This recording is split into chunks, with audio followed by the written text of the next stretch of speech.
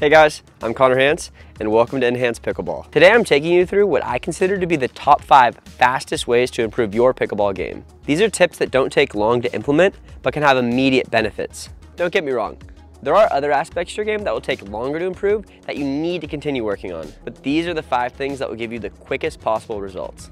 Make sure to watch to the end because we hit a surprise giveaway at some point in this video. Grab your paddle and let's go. So at number five, our first tip of the day is to stop taking such a big swing on your return. I see so many players below the 4-5 level that hit their returns the same way that they hit their drives. But these two shots are completely different with completely different goals. On the return, the main goal is to hit the ball deep. Hitting it deep will give you extra time to move forward and it will prevent your opponent from hitting a good third shot. If you use a big swing, you may be able to get away with it sometimes, but you'll also make a lot of unnecessary mistakes. If your opponents are hitting hard and deep serves at you, you should use a compact stroke as you move through the ball with your legs. To do this, shorten your backswing and start a little bit behind the baseline so that you have space to move forward before you hit the ball. With your shortened takeback, it'll be easier to make clean contact in the center of your paddle. So even though your goal is to hit a deep return, that doesn't mean that you have to add more power. Adding some height to your return can be more effective in helping you get the ball deeper. And it will also give you more time to make your way to the kitchen line. By using forward momentum to hit the ball, you're giving yourself extra stability and a head start to make it to the kitchen. Overall, a more compact swing will help you hit consistently deeper returns. It's pretty easy to get the hang of this technique, which is why it's one of the fastest ways that you can improve. Okay, so tip number four is to stop attacking balls when you're in a poor position. I see so many players that get impatient and are too aggressive at the wrong times.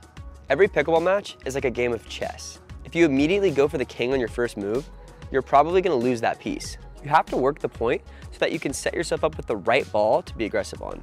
If your strategy is just to go big on every shot, then you'll consistently make errors and give your opponents opportunities to take control of the point. As a rule of thumb, if you're ever off balance or hitting the ball below your knees, you should always go for a safer shot that will keep you from being put on defense. What you want to stay away from is blasting the ball in these situations, where you'll usually either miss or you'll give your opponent an opportunity to take an advantage of your poor positioning.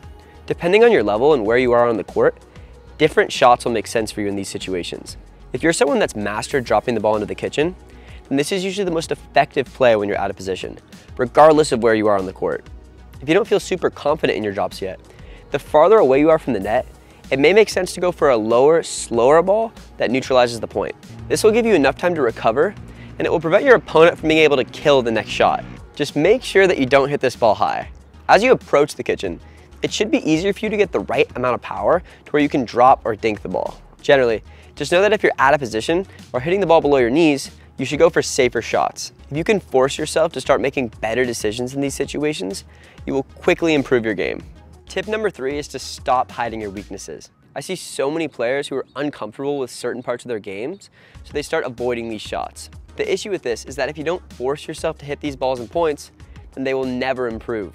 Think about your pickleball game like a basketball team. If you give the ball to the same player every time, then the other team will catch on.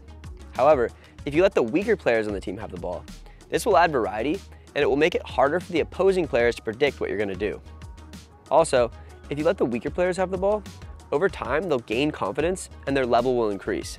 The moral of the story is that you should continue to use your strengths, but you should also force yourself to use your weaknesses so that they improve over time. The main shots that I see players do this on are their backhands and their volleys. Looking at the backhand, I see so many players that try to use their forehand on every shot when they're at the back of the court. They do whatever they can to prevent themselves from hitting backhands, even if it means leaving the entire court open or running into the side fence. If the ball ever comes directly at you, I agree that you should try to use your forehand when you can. At a certain point though, you're gonna have to hit your backhand. So whenever a ball comes to the left side of your body, you should force yourself to use your backhand and I guarantee it will improve over time. Looking at the volleys, I have so many players tell me that they're uncomfortable at the net and they don't like to come in. After a certain level in pickleball, they're gonna have to come in if you wanna do any damage. The only way to get comfortable at the net is to force yourself to come in and learn to control the point from the kitchen. My challenge for you is that if you're the type of player that likes to hide your weaknesses, I'd like you to spend the next month forcing yourself to hit these shots as much as you can. I can guarantee that if you do this, you'll see results really quick and by the end of the month, you'll have transformed your game. Okay, we're on to number two. Tip number two is to refine your third shot strategy. This is one of the most important aspects to becoming a better pickleball player. I see so many players who use the same third shot in every situation, regardless of who they're playing against and where they're positioned. If both of your opponents are standing up at the kitchen, usually your best bet is to hit a drop and follow it in. Occasionally, if they give you an easier ball, a drive can be a good changeup as you can take them off guard with your power. At a lower level, generally you see more players using drives on their third shots, and at a higher level, players tend to use more drops. However, depending on who you're playing and where they're positioned, your third shot strategy should change. Looking at who you're playing, you're going to want to adjust your shot selection accordingly.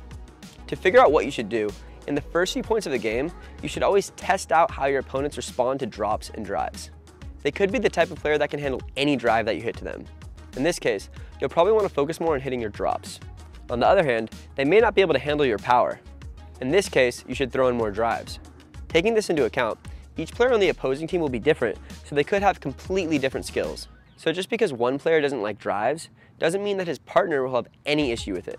You have to make educated decisions player by player. Looking at their positioning, if they're following the right strategy, both players should be at the net by their third shot. Players above a 4.0 level should be doing this almost every single time. However, if you hit a deep serve or they're not following the proper strategy, the player might not make it in by the time that you hit your third shot. In this case, you should generally try to hit the ball at their feet and then follow it in. If they're all the way back, you can even use a drive. This shot is harder than the drop, but it still dips at their feet. By focusing on our third shot selection, we immediately open up a variety of new ways to score on our serves. Because of this, it's one of the fastest ways to improve your game. So guys, before we get into our number one tip, I wanted to let you know that next week we're releasing a video on the top five hacks that every pickleball player should know. If you want to be notified about when we post it, make sure to subscribe. All right, the moment we've all been waiting for, the number one tip of the day. So the number one tip of the day is to take better advantage of higher balls while you're at the net. I see so many players who set up the point perfectly, then they get a high shot at the net, only to give it right back to their opponent at a medium pace.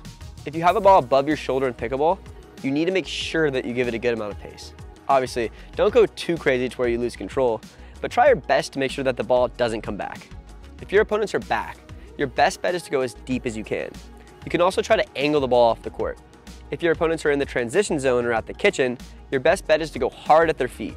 If you try to hit through them, then it will be easier for them to reflex the ball back. In the event that you need to make contact with the ball below your shoulder, you won't be able to go quite as hard. Usually, when higher level players are at the kitchen and they have a shot that they're hitting between their shoulders and waist, they go for a shot called the roll. This is where you put a little bit of topspin on the ball and try to make it jump at your opponent's feet so that it's harder for them to use their drops. The main thing to think about here is that if the ball isn't above your shoulder height, you shouldn't use the overhand motion. You should hit it more like your forehand and backhand volley. Just take a bigger swing so you can get that extra power. So make sure that if you get higher balls at the net, you do what you can to put them away. By implementing this tip into your game, you'll be able to capitalize on the points that you're supposed to win. I really think that these are the fastest ways to make a big difference. In order to make these work though, we need to make sure that we're following the right strategy. If you want to learn more about the proper fundamentals of pickleball strategy, watch this.